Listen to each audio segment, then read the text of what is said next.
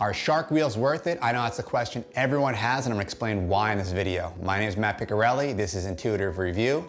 Reviews from the heart. I'm here to save you time and money. Just picked up the Shark Wheel DNA. These are the 72 millimeter 78A version. They look funky, they look interesting, they look wavy. I'm liking them. So we're gonna install it on this Sector 9 longboard that has the waterborne surf adapter on the front and back. And I have very, very old wheels on this thing. So we're gonna install the wheels on this. Let's do it.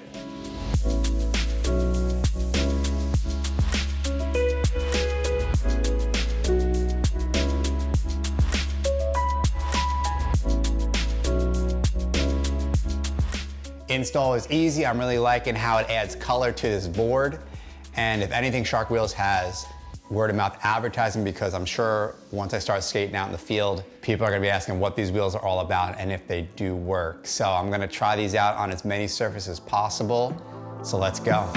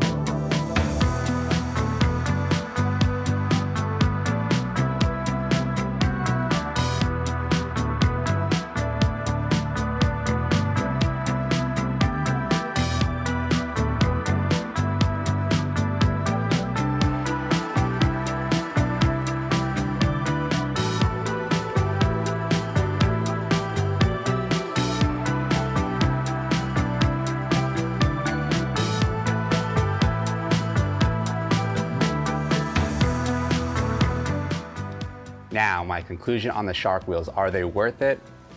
I think they are. I mean, they're pretty cool. Just the look alone is awesome. Anytime I brought them to any sort of area, people are asking me what those wheels were. So as far as like word of mouth goes, I mean, people are curious what these are all about and what they actually do.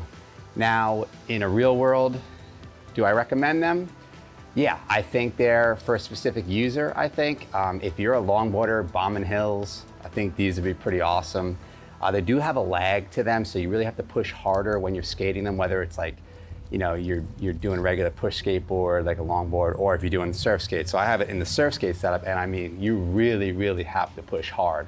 I mean, you already have to push hard with the surf skate adapter though, so when you add these wheels, there's like extra lag, I guess you'd want to call it, and you just have to, they're not as smooth as regular wheels because of the, you know, the indents that they have on it and stuff like that. But with that being said, if, you know, you're you know, skating over surfaces that, you know, have maybe have some rocks, pebbles. I mean, this will run right over it. So I tried it out on a tennis court, uh, concrete park, uh, street, and then asphalt. And I mean, it really, really gripped. These things really grip a lot. And even when I was in the street and it was wet, even when I slid out on my on the hard turns, it still held its grip, which is really, really interesting because I'm used I'm used to uh, board just slipping out completely, and that's really, really scary, honestly. So these really held its own in the water. Now, do I recommend riding in rain and dirt and rocks and pebbles? No, that's not good for your bearings, it's not good for your skateboard, it's not gonna last a long time.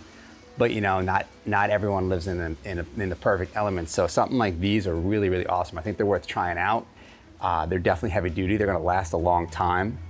And I'm definitely happy with them. I think, you know, worst case scenario, you try them out for the 50 bucks that they are. And if you don't like them, they still hold their value because they're very popular right now.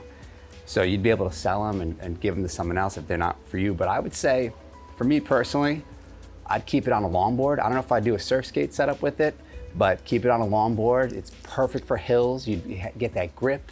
You can really, really hit those turns hard and not have to worry about anything, even if there's a little bit of sand on the road, which is always sand on the road. So something like this is definitely helpful for sure. So if you found this video useful, please consider subscribing and liking this channel.